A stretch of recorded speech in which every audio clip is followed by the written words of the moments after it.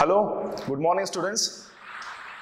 Once again, welcome to Rotary family, and I would like to welcome you all on behalf of my World Commerce Department.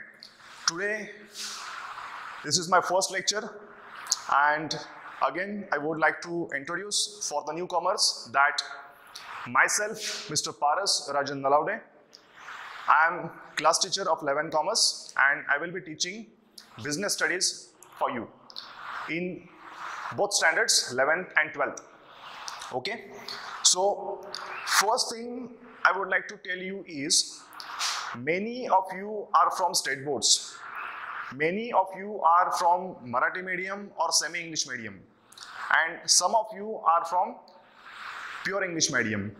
So here i would like to tell you that it is not important to speak in English all the time.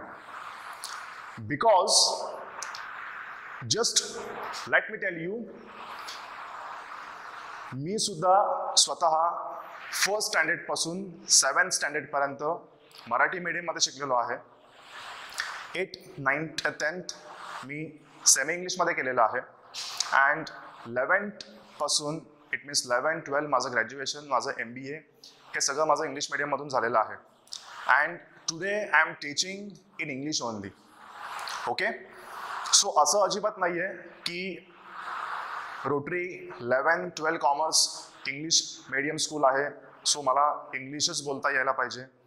किंवा तुमच्यातल्या खूप जणांना ही भीती असते की मला एखादा जर doubt विचारायचा असेल क्लासमध्ये मग तो मी इंग्लिशमध्ये कसा विचारू? सो खूप जणांच्या मनामध्ये ही भीती असते किंवा शंका असते की आता हा डाऊट मी जर इंग्लिशमध्ये नाही विचारला किंवा मराठीमध्ये जर विचारला तर मुलं मला हसतील किंवा कोणतरी काहीतरी बोलेल किंवा सर काहीतरी बोलतील. सो अशा गोष्टींना घाबरून जायची मुळात गरज नाही आहे बिकॉज आपली मदर टंग ही मराठी आहे. ओके आणि इंग्लिश ही वर्ल्ड वाईड ॲक्सेप्टेड लँग्वेज आहे. सो आपल्याला इंग्लिशमध्ये बोलणं गरजेचं आहे पण ते आत्ता इथे इम्पॉर्टंट नाही आहे सो तुमचे जे काही डाऊट्स असतील तुम्हाला जे काय कम्युनिकेट करायचं असेल आमच्या सगळ्या टीचर्ससोबत सगळे टीचर्स इट मीन्स अकाउंटन्सी असेल इकॉनॉमिक्स असेल बिझनेस स्टडीज असेल इंग्लिश असेल मॅथ्स असेल आय पी असेल हे सगळे सब्जेक्ट जे आहेत ह्या सगळ्या टीचर्ससोबत तुम्ही जेव्हा कम्युनिकेट कराल तुमचे डाऊट्स जे काय विचारायचे असतील आता जी मुलं इंग्लिश मिडियमला बिलॉंग्स करतात ती मुलं त्यांचे डाऊट्स जे काय असतील ते इंग्लिशमध्ये विचारतील. Of course no doubt but जी मुलं स्पेशली सेमी इंग्लिश किंवा मराठी मीडियममधून आहेत त्या मुलांनी त्यांचे डाऊट्स सध्या मराठीमधून जरी तुम्ही विचारले तरी तुमचे डाऊट क्लिअर होणं गरजेचं आहे. ओके बिकॉज आज अशी परिस्थिती आहे की पूर्ण वर्ल्डमध्ये इंग्लिश बोललं जातं. आपल्या आजूबाजूची लोक जी आहेत आपलं सराउंडिंग जे आहे त्या ठिकाणी इंग्लिश लँग्वेज ॲक्सेप्ट झाले. सो तुम्ही सुद्धा इन फ्युचर चांगल्या प्रकारे इंग्लिश बोलायलाच पाहिजे. तुम्ही लोकांशी कम्युनिकेट करताना इंग्लिशमध्ये केलं पाहिजे. दॅट इज इम्पॉर्टंट बट आत्ता जी फेज आहे ज्या ठिकाणी तुमचे डाऊट्स जे आहेत तुमचे सगळे सब्जेक्ट जे आहेत ते क्लिअर करणं फार गरजेचं आहे. सो मनामध्ये ही भीती ठेवू नका की मला इंग्लिश येत नाही आहे सो मी डाऊट्स कसे विचारू? ह्या गोष्टी होता कामा नाहीत okay so if I am telling you my experience because ज्या वेळेला मी स्कूलमध्ये होतो सेवनपर्यंत माझं पूर्णपणे जे शिक्षण झालं आहे ते मराठी मीडियमला झालेलं आहे झेड पी स्कूल ओके नंतर मग मी इंग्लिशमध्ये कन्वर्ट होत गेलो. मी स्वतःला केलं कन्वर्ट बिकॉज ती काळाची गरज होती आणि ते मला करावं लागलं. ओके आता मी ज्या वेळेला एम बी ए केलं किंवा मी ग्रॅज्युएशनपर्यंत जे कॉलेज करत होतो त्यावेळेला जे गॅदरिंग्स झाले किंवा एम बी एला असताना आम्हाला काही प्रेझेंटेशन्स करावी लागत होती. ते प्रेझेंटेशन्स करत असताना मला कधीही ते प्रेझेंटेशन म्हणजे करायचं डेअरिंग कधी झालंच नाही. प्रेझेंटेशन असलं की मी ते स्किप करायचो मी घरी निघून जायचो. बिकॉज माझ्यामध्ये डेअरिंग नव्हतं. स्टेज डेअरिंग जो पार्ट असतो कॉन्फिडन्स जो पार्ट असतो कम्युनिकेशन जे असतं ह्या गोष्टी माझ्यामध्ये खूप लॅकिंग होत्या. आणि in future after M B A more than four five months I was at home only jobless okay so एक माझ्या मनामध्ये एक असं ड्रीम होतं की आता माझं एम बी ए झालं आहे सो मला एक at last thirty forty thousand salary मिळायला पाहिजे आणि लगेच मला जॉब मिळेल असं तसं ह्या गोष्टी खूप काही होत्या. सो आपल्या सराउंडिंगमध्ये किंवा आपल्या जवळपास जेवढे M I D C area आहेत त्या प्रत्येक एरियामध्ये मी स्वतः अप्लाय केलं होतं. बट त्यावेळेला रिसेशन असल्यामुळे मला वॅकन्सीज मिळत नव्हत्या. आणि त्यामुळे माझं कुठे रिक्रुटमेंट होऊ शकली नाही. बट त्याच पिरियडमध्ये सह्याद्री शिक्षण संस्था यांचं एम बी ए कॉलेज आहे. त्या ठिकाणाहून मला त्यांनी अपॉर्च्युनिटी दिली होती to work as a assistant professor but at that time I rejected that opportunity again after two months in November again they approached की सर तुम्ही या प्लीज ॲटलिस्ट कॉलेज तरी बघा. बट त्यावेळेला सिच्युएशन अशी होती की माझ्या मनामध्ये टीचिंग करायचंच नव्हतं. मला आवडच नव्हती मुळात टीचिंगची ओके आणि ती सुद्धा ऑपॉर्च्युनिटी सेकंड टाइम मी रिजेक्ट केली. आणि जानेवारीमध्ये त्यांनी मला परत कॉल केला होता. की सर तुम्ही ॲटलिस्ट या प्लीज आम्हाला लेक्चरर मिळत नाही आहे फायनान्ससाठी तुमचं फायनान्स झालं आहे तुम्ही ॲटलिस्ट एक चान्स तरी घेऊन बघा. सिलेक्शन झालं तर ठीक. बट माझ्या मनामध्ये ज्या गोष्टींची भीती होती इट मीन्स स्टेज डेअरिंग माझ्यामध्ये झिरो होतं. कॉन्फिडन्स झिरो होता. लँग्वेज प्रॉब्लेम होता मला. सुरुवातीला. थोडासा बिकॉज माझं अर्ध शिक्षण मराठी मीडियम अर्ध शिक्षण सेमी इंग्लिश काही शिक्षण इंग्लिश मीडियम सो एवढ्या मुलांसमोर बोलत असताना किंवा एवढ्या मुलांचे डाऊट्स त्यांचे क्वेरीज त्यांचे क्वेश्चन्सचं आन्सरिंग करत असताना ते मला प्रॉपर जमेल का? या गोष्टींची माझ्या मनात भीती होती आणि त्यामुळे मी तो चान्स घेत नव्हतो. बट त्याच वेळेला मी माझ्या काकांना भेटलो होतो आणि त्यांनी जस्ट सहज असं सांगितलं की अरे पारस बघ तू एम बी ए झालायस आणि सगळी लोक विचारत आहेत की तू आज काय करतोस? बट एक ते थोडंसं माझ्या डॅडींच्या चेहऱ्यावरती एक थोडंसं दुःख किंवा नैराश्य होतं की आपला मुलगा एवढा शिकलाय एम बी ए झालाय पण आज जॉब करत नाहीये. सो ती तेवढी गोष्ट मी स्ट्राईक केली आणि त्या एका गोष्टीमुळे त्या एका रिझनमुळे मी तिथे गेलो. तिथे एक त्यांचे एक्स डायरेक्टर होते जे आता नाही आहेत गौडा सर म्हणून. त्या माणसाने मला समोर बसवलं. आणि त्यांनी जस्ट माझा इंटरव्ह्यू घेतला. इंटरव्ह्यू घेतला मला कळलं पण नाही. इंटरव्ह्यू मी क्रॅक केला मी पास झालो. तरी मला सांगितलं की तुला आता डेमो द्यावा लागेल. But at that time I was not ready to give that demo simple demo of fifteen twenty minutes because demo द्यायचा इट मीन्स नवीन क्लास नवीन कॉलेज सगळी लोक नवीन होती. आणि मी जो टॉपिक शिकवणार आहे किंवा मी ज्या टॉपिकचा डेमो देणार आहे त्या टॉपिकवरती जर मला कोणी काही क्वेश्चन विचारला तर त्या क्वेश्चनचं जर मला आन्सर देता नाही आलं तर? फॉर एक्झाम्पल आता मी तुम्हाला शिकवतोय एखादी concept शिकवतोय. For example forms of business organization हा टॉपिक आपण जर शिकवतोय आणि तुम्ही जर मला एखादा डाऊट जर विचारलात आणि मला त्या क्वेश्चनचं आन्सर नाही देता आलं तर मी ह्या ठिकाणी झिरो असेन. ओके सो ती माझ्या मनामध्ये भीती होती की मी ज्या स्टुडंट्सना शिकवणार आहे मग ते पन्नास असतील शंभर असतील पाचशे असतील. त्या प्रत्येक स्टुडंटचा डाऊट प्रत्येक स्टुडंटची क्वेरी जी आहे ती मला सॉल्व करता यायला पाहिजे. त्या प्रत्येक क्वेश्चनचं आन्सर मला देता यायला पाहिजे. इट मीन्स मी ॲज अ टीचर माझ्याकडून प्रत्येक स्टुडंट सॅटिस्फाय झाला पाहिजे. Okay that is important so तेवढी गोष्ट मी स्ट्राईक केली आणि सरांना सांगितलं की सर मी आता डेमो देऊ शकत नाही. मला टेन टू फिफ्टीन डेज पाहिजेत प्रिपरेशनसाठी आणि त्यांनी मला त्या ठिकाणी ते पण सांगितलं की ठीक आहे चल तुला दहा पंधरा दिवस जे काय पाहिजेत ते तू घे आणि तू डेमोसाठी ये. मी आफ्टर ट्वेल्व फिफ्टीन डेज त्या ठिकाणी गेलो सह्याद्रीमध्ये सावर्ड्यामध्ये. मी डेमो दिला. अराउंड फॉर्टी सिक्स स्टुडंट्स मला अजून ती बॅच आठवते कारण ती माझ्या अकॅडमिक लाईफमधली फर्स्ट बॅच आहे. ती ते स्टुडंट्स फॉर्टी सिक्स सगळे माझ्यासमोर बसले होते. माझा फर्स्ट डेमो माझं फर्स्ट टीचिंग आणि जे मी कधी स्वप्नात पण बघितलं नव्हतं की इन फ्युचर पारस तू टीचर असशील. कधीच बघितलं नव्हतं कधी विचार पण केला नव्हता कारण मला आवडच नव्हती. आणि त्या डेमोमध्ये त्या सगळ्या स्टुडंटनी मला ॲक्सेप्ट केलं. माझा फीडबॅक चांगला दिला. त्यांनी सांगितलं की नाही सरांनी ज्या कन्सेप्ट शिकवल्यात त्या आम्हाला समजल्यात. आणि मला चांगलं आठवतंय की कॅश फ्लो हा टॉपिक त्या ठिकाणी मी शिकवला होता जो तुम्हाला आत्ता आहे अकाउंटन्सीमध्ये जो तुम्ही शिकणार आहात इन फ्युचर ओके आणि तो फीडबॅक चांगला आला पॉझिटिव्ह फीडबॅक आला आणि मग मी त्या ठिकाणी त्या सरांनी मला सांगितलं की पारस तुझा डेमो चांगला झालाय. तुला स्टुडंटने ऍक्सेप्ट केलंय. तू उद्यापासून जॉईन कर. बट उद्यापासून जॉईन कर इट मीन्स मला उद्यापासून तो सब्जेक्ट शिकवायचा आहे.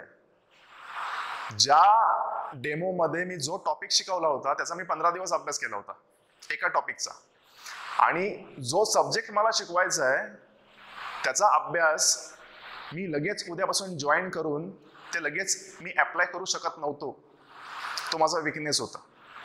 सो मी सरांना सांगितलं की नाही सर मी उद्यापासून जॉईन नाही करू शकत. स्टुडंटनी मला ॲक्सेप्ट केलं हे एका डेमोवरती केलं आहे बट ज्या विश्वासाने किंवा जो ट्रस्ट स्टुडंटनी माझ्यावरती दाखवला आहे तो मला सॅटिस्फाय करणं फार गरजेचं आहे. सो मला अजून तुम्ही दहा पंधरा दिवस द्या. आणि मग मी जेव्हा सॅटिस्फाय होईन माझ्या स्टडीच्या बाबतीत तेव्हा मी तुमची इन्स्टिट्यूट जॉईन करेन. आणि तीस जानेवारी thirtieth January two thousand twelve दोन हजार बारा या दिवशी मी Sahyadri institute of management and research Savarde join केलं. ओके हा माझा एक्सपिरियन्स बिकॉज मी एम बी एला असताना खूप सेमिनार्स अटेंड केले.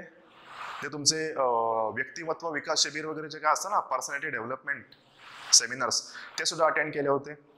बट ह्या ज्या गोष्टी असतात ह्या गोष्टींचा माझ्यावर कुठे फरक पडला असं मला कधी जाणवलं नाही. ओके मी स्वतःला चेंज केलंय. बिकॉज तुमचं कॅलिबर तुमचं पोटेन्शियल हे फक्त तुमचं तुम्हाला माहिती असतं. ओके तो इतर थर्ड पर्सन कोणीही तुम्हाला जज करू शकत नाही किंवा तुम्हाला ओळखू शकत नाही की तुम्ही काय आहात. जर तुम्हाला स्वतःला चेंज करायचं असेल तर ते तुम्ही स्वतः स्वतःला चेंज केलं पाहिजे. दॅट इज इम्पॉर्टंट हे तुम्हाला मी माझे एक्सपिरियन्सेस का शेअर करतोय? बिकॉज आज तुम्ही ज्या स्टेजमध्ये आहात एक दिवस मी त्या स्टेजमध्ये होतो. ओके आणि या सगळ्या स्टेजेस मी स्वतः एक्सपिरियन्स केलेले आहेत. डिस्क्रिमिनेशन हा जो पार्ट असतो ह्या गोष्टी मी सुद्धा फेस केल्यात. काही ठिकाणी असतात की बाबा बॅचेस केल्या जातात ह्या गोष्टी असतात. Okay?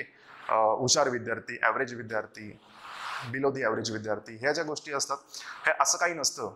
That is you because that depends on you कारण तुम्ही जेवढा अभ्यास कराल तेवढं तुमचं आउटपुट असेल. तुम्ही जेवढं इनपुट द्याल तेवढं तुमचं आउटपुट असेल. बिकॉज इनपुट आउटपुट ह्या गोष्टी ज्या आहेत these things are commerce related तुम्ही जेवढं चांगलं इनपुट द्याल तेवढं चांगलं आउटपुट असेल.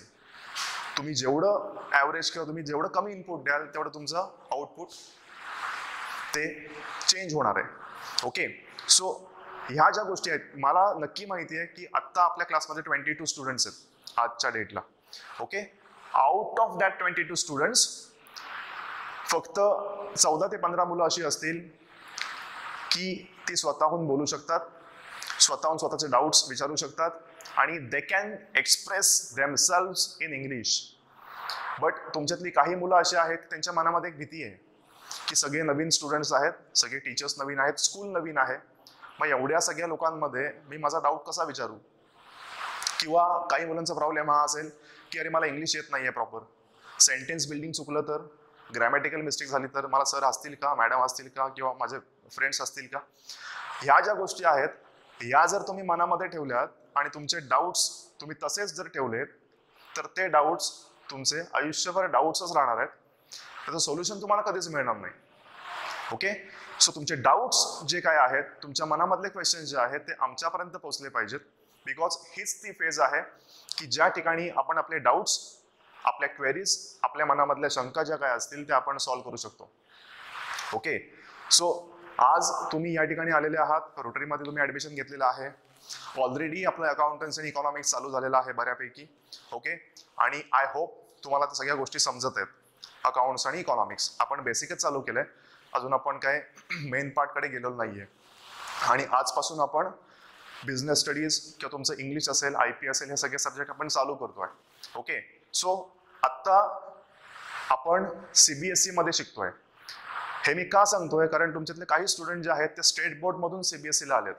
आणि तुमच्या मनामध्ये ही शंका असेल किंवा तुमच्या मनामध्ये ही भीती असेल किंवा तुमच्या मनामध्ये हे बिंबवलं गेलं असेल किंवा कोणीतरी सांगितलं असेल की सीबीएसई सिलेबस थोडासा टफ असतो समजायला कठीण असतात गोष्टी मार्क्स कमी येतात. तर असं काही होत नसतं. बिकॉज आपल्या इथे गेल्या वर्षी ज्या तीन मुलींनी सी ए फाउंडेशन क्लिअर केलंय त्यातल्या दोन मुली ह्या स्टेट बोर्डमधूनच आपल्या इथे आल्या होत्या. ओके आणि त्यातली एक मुलगी जी आहे ती सेमी इंग्लिशमधून आपल्या इथे आली होती. तरी सुद्धा त्या मुलीने C A foundation exam clear केले. ओके सो बेनिफिट हा आहे की ज्या गोष्टी तुम्हाला स्टेट बोर्डमध्ये शिकायला मिळणार आहेत त्याच्या व्यतिरिक्त गोष्टी तुम्हाला सी ए फाउंडेशनला किंवा सी एस फाउंडेशनला आहेत. ओके आणि सीबीएसईला ज्या गोष्टी आहेत it means the syllabus of CBSE is similar to the syllabus of C A and C S foundation okay for example accountancy तुम्हाला स्टेट बोर्डला पण आहे सीबीएसईला पण आहे आणि सी ए फाउंडेशनला पण आहे. बट सीबीएसईला जे अकाउंटन्सी आहे तेच तुम्हाला सीबी सी ए फाउंडेशनला आहे. बिकॉज स्टेट बोर्डचं अकाउंटन्सी जे आहे ते अभ्यास करून तुम्हाला अजून अकाउंटन्सीचा अभ्यास करून तुम्हाला सी ए फाउंडेशन द्यावी लागेल. ओके सो आत्ता आपल्याला इलेव्हन ट्वेल्वला जे अकाउंटन्सी सीबीएसईला आहे ना त्या गोष्टी मी ग्रॅज्युएशनला शिकलो होतो. फर्स्ट इयर सेकंड इयरला त्या तुम्हाला आत्ताच शिकायला मिळणार आहेत आणि त्याच गोष्टी तुम्हाला सी ए फाउंडेशनला आहेत. ओके सो हा एक सब्जेक्ट झाला. इकॉनॉमिक्स कॉमन आहे. State board CBSE C A foundation okay advance economy आहे आपल्या इथे सीबीएसईला आपल्याला चार गोष्टी जास्त शिकायला मिळतात सीबीएसई मध्ये इकॉनॉमिक्समध्ये ओके माझा सब्जेक्ट जो आहे business studies okay now in C A foundation there is business and commercial knowledge okay in CBSE there is business studies okay पण हा सब्जेक्ट जो आहे हा स्टेट बोर्डला नाही आहे आणि बिझनेस स्टडीजचा जो सिलेबस आहे इलेव्हन ट्वेल्थचा त्यातलाच काही पार्ट हा बिझनेस अँड कमर्शियल नॉलेज या सी एफ फाउंडेशनच्या सिलेबसमध्ये आहे. Okay so again you will be benefited maths ज्या मुलांना सी ए फाउंडेशन करायचं आहे त्या मुलांसाठी आपण मॅथ्स ठेवलेलं आहे. त्या मुलांनी मॅथ्स घेणं गरजेचं आहे. बिकॉज ज्या लास्ट इयर स्टुडंट्सनी सी ए फाउंडेशन क्लिअर केले त्या तिघींचं पण मॅथ्स होतं. त्यांनी मॅथ्स घेतलं होतं त्यांनी ऑप्शनला टाकलं नव्हतं. सो मॅथ्स सुद्धा ठेवणं तुम्हाला गरजेचं आहे. ओके राहता राहिला विषय इंग्लिश इंग्लिश लँग्वेज सगळीकडे कॉमन आहे. ओके देन सब्जेक्ट राहिला सी ए फाउंडेशनमधला जो कुठेच सिलेबसमध्ये नाही आहे तो म्हणजे लॉ तर लॉसाठी आपण वेगळे टीचर्स अपॉइंट केलेत. आपल्याकडे आपण एट टू फोर थर्टी हे आपलं शेड्यूल आहे. आपलं इलेव्हन ट्वेल्व हे कॉलेज नाही आहे हे स्कूलच आहे. Okay so eight to two ह्या पिरियडमध्ये आपण रेग्युलर बोर्ड टीचिंग करतो and two to four thirty ह्या पिरियडमध्ये आपण लॉचे लेक्चर्स अकाउंटन्सीचे लेक्चर्स मॅथ्सचे लेक्चर्स माझे बेसिकेचे लेक्चर्स हे आपण अरेंज केलेत. Only for C S C S foundation okay आता या वर्षीपासून आपण क्लॅटचा सुद्धा विचार करतोय. ज्या मुलांना लॉ करायचं आहे त्या मुलांसाठी आपण क्लॅटची तयारी करून घेणार आहोत. त्याचे सब्जेक्ट्स त्यासाठी आपण आपले टीचर्स जे आहेत त्या प्रत्येक टीचरला आपण त्यातले क्लॅटचे सब्जेक्ट ॲलोकेट केलेत दिलेत. त्याप्रमाणे त्यांचं प्रिपरेशन चालू आहे. सो आता या वर्षीपासून आपण आपलं C A foundation C S foundation already चालू आहे. त्याच्यामध्ये आपण एक एक्झाम ॲड केले ती म्हणजे असेल क्लॅट ओके सो ज्या मुलांना लॉ करायचं आहे ती मुलं क्लॅटचा अभ्यास सुद्धा करू शकतात ओके सो असं हे पूर्णपणे जे करिक्युलम आहे या सगळ्या करिक्युलममध्ये इट मीन्स पूर्ण तुमचं जे इलेव्हन ट्वेल्व आहे दोन वर्ष जी आहेत ही पूर्ण दोन वर्ष तुमच्या लाईफमधली फार क्रुशियल इयर्स आहेत. बिकॉज तुमचा हा पाया आहे हे तुमचं फाउंडेशन आहे. आणि तुमचं फाउंडेशन जर प्रॉपर असेल ते जर स्ट्रॉंग असेल तर त्याच्यावरती जे स्ट्रक्चर उभं राहणार आहे ते तेवढंच स्ट्रॉंग असणार आहे. ओके सो तुमचं आत्ता जे फाउंडेशन आहे ते तेवढं मजबूत इट मीन स्ट्रॉंग असणं फार गरजेचं आहे. आणि ते स्ट्रॉंग करण्यासाठी तुम्ही तुमचा सेल्फ कॉन्फिडन्स हा थोडा बूस्ट करायला पाहिजे. ओके स्वतःला बिलीव्ह करायला शिका. इट मीन्स मला जे वाटतंय तेच किंवा इतर लोक जे तुम्हाला सांगतायत त्याच्यावरती विचार करा आणि मग तुम्ही डिसिजन्स घ्या. ओके घाबरून जायची गरज नाही आहे बिकॉज जो माणूस आयुष्यात घाबरतो तो तिथेच थांबतो. तो कधी स्वतःची ग्रोथ करू शकत नाही. ओके सो या गोष्टी आहेत. अजून तुम्हाला सगळ्यात महत्त्वाचं जे आहे ते म्हणजे एफर्ट्स अँड सॅक्रिफायसेस बिकॉज ज्या मुलांना सी ए करायचं आहे ज्या मुलांना सी एस करायचं आहे ह्या गोष्टी अशा सहज शक्य होणाऱ्या नाही आहेत तुमचे ड्रीम्स आहेत. तुम्ही काहीतरी एम ठेवले तुमच्यासमोर की मला सी ए व्हायचंय किंवा मला सी एस व्हायचंय. पण ते करत असताना त्याच्यामागे लागणारे एफर्ट जे आहेत हे तुमचे तुम्हालाच घ्यावे लागणार आहेत. बिकॉज तुम्हाला लागणारी मदत ओके किंवा तुम्हाला लागणारा जो अभ्यास आहे तो आम्ही करून घेऊ. आमचे पूर्णपणे प्रयत्न तेच राहतील कारण आम्हाला पण ते पाहिजे असतं. कारण जास्तीत जास्त मुलं आमच्याकडून जी पासआउट होणार आहेत त्यातली इन फ्युचर सी ए आहेत सी एस आहेत लॉयर्स आहेत एम बी ए आहेत हे आम्हाला सुद्धा सांगायला अभिमानास्पद वाटेल. Okay so efforts sacrifices it means तुम्हाला काही गोष्टींवरती कंट्रोल करावं लागेल. इट मीन्स आत्ता काही गेम्स पॉप्युलर आहेत त्यामध्ये सगळ्यात पॉप्युलर गेम म्हणजे पबजी आहे. ओके आत्ता जे ऑनलाईन टीचिंग चालू आहे म्हणजे actually it is joking but then also I am telling you की काही दिवसापूर्वी आम्ही स्टुडंटना सांगत होतो की फोनला हात लावायचा नाही आहे ओके? आणि आत्ता वेळ आहे की आमचं टीचिंग फोनशिवाय होत नाहीये. इट मीन्स मी तुम्हाला आत्ता जे लेक्चर देतोय मी या ठिकाणी रेकॉर्ड करतोय. ओके? मी ते रेकॉर्ड करेन युट्यूबला अपलोड करेन पण तुम्ही ते बघणार कशावर? फोनवर ओके? सो तुमच्यातली काही मुलं अशी आहेत की यूट्यूब किंवा ऑनलाईन लेक्चरच्या नावाने मोबाईल हातामध्ये घेतात अटेंडन्स देतात आणि इतर वेळ गेम खेळत असतात. हे लक्षात आलंय बिकॉज यूट्यूब चॅनल जे आहे ते आपलं स्वतःचं आहे रोटरी अकॅडमीचं चॅनल आहे. आणि त्या ठिकाणी तुम्ही जर बघितलं तर तुमची जी स्क्रीन आहे त्या स्क्रीनच्या खाली व्ह्यूज आहेत. ओके तर ते व्ह्यूजमध्ये दिसतं की किती लोकांनी ते बघितलंय. आता जे लेक्चर चालू आहे ते किती लोकांनी पाहिलंय किंवा बघितलंय हे त्या ठिकाणी समजतं. सो तुमच्यातले आता आपण ट्वेंटी टू स्टुडंट्स आहेत आपल्या क्लासमध्ये त्यातले हार्डली व्ह्यूज जे असतात ते फॉर्टीन टू फिफ्टीनच असतात. लेक्चरच्या वेळेत. ओके सो हे आमच्याकडून मॉनिटर केलं जातंय. त्यामुळे ह्या गोष्टी व्हायला नकोत ॲक्च्युली ओके सो तुम्ही ह्या ठिकाणी सिरियस असणं फार गरजेचं आहे. गेम खेळण्याचं वय जे आहे ते तुमच्या लाईफमधून निघून गेलेलं आहे. बिकॉज मी सगळ्या स्टुडंट्सना आत्तापर्यंत जे सांगत होते तेच तुम्हाला मी सांगतो की तुम्ही आत्ता जेवढे जास्त एफर्ट्स घ्याल इलेवन ट्वेल्व किंवा हे पुढची पाच सहा वर्ष तेवढं तुम्ही तुमचं लाईफ जास्त एन्जॉय कराल. बट तुम्ही आत्ता जेवढं जास्त एन्जॉय कराल तेवढे तुम्हाला जास्त एफर्ट्स इन फ्युचर घ्यावे लागणार आहेत. So now it depends on you आत्ता जास्त एफर्ट्स घेऊन पुढचं लाईफ एन्जॉय करायचं आहे की आत्ताचं लाईफ एन्जॉय करून पुढे एफर्ट्स घ्यायचे आहेत. बिकॉज इन फ्युचर तुमच्यावर काही रिस्पॉन्सिबिलिटीज असणार आहेत. आत्ता ज्या तुमच्या पॅरेंट्सवरती आहेत. ओके सो आत्ता जे तुम्ही life जगताय it is only because of your parents आणि तुम्हाला सेम लाईफ तुमच्या मुलांना तुमच्या पुढच्या जनरेशनला द्यायचं असेल तर तुम्हाला सुद्धा तेवढेच एफर्ट्स घ्यावे लागतील बिकॉज तुमच्यावर दोन जबाबदारी असणार आहेत. एक तुमचं नेक्स्ट जनरेशन आणि तुमच्या पॅरेंटचं जनरेशन ओके सो या सगळ्या गोष्टी ज्या आहेत या सगळ्या गोष्टी मी तुम्हाला का सांगतोय? बिकॉज या सगळ्या गोष्टींचा मी अनुभव घेतलाय मी एक्सपिरियन्स केल्यात. ओके आणि ह्या गोष्टी मला सांगायला कोणी नव्हतं. सो ह्या गोष्टी मी अनुभवातून शिकलोय. आणि आज त्या मला वाटते की तुम्हाला काहीतरी त्यातून कळावं तुम्हाला त्या गोष्टी सांगाव्यात की जेणेकरून तुम्ही स्वतःला चेंज करू शकाल. So today morning only I thought to express my self in English in Marathi जास्त बिकॉज आपण आपल्या भावना ज्या आहेत त्या अतिशय चांगल्या प्रकारे फक्त मराठीमधूनच पोचवू शकतो.